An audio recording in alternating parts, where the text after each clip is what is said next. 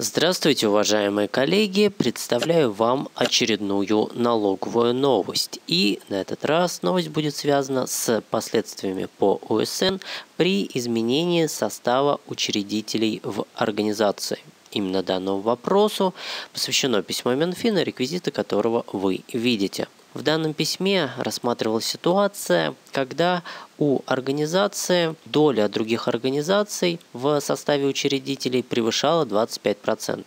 Но затем состав учредителей изменился, и, соответственно, доля организаций стала не превышать 25%. Соответственно, возник вопрос, можно ли применять упрощенную систему налогообложения и с какого момента. Рассматривая данный вопрос, Минфин указывает на то, что в том случае, если изменился состав учредителей, что привело к тому, что доля других организаций, которые участвовали в налогоплательщике, не превышает 25%, то в этом случае упрощенную систему налогообложения можно применять с 1 января года, который следует за годом, когда изменился состав учредителей налогоплательщика. Таким образом, как налогоплательщикам, так и их учредителям необходимо принять во внимание данное разъяснение Минфина. А на этом все. Спасибо за внимание. До скорых встреч!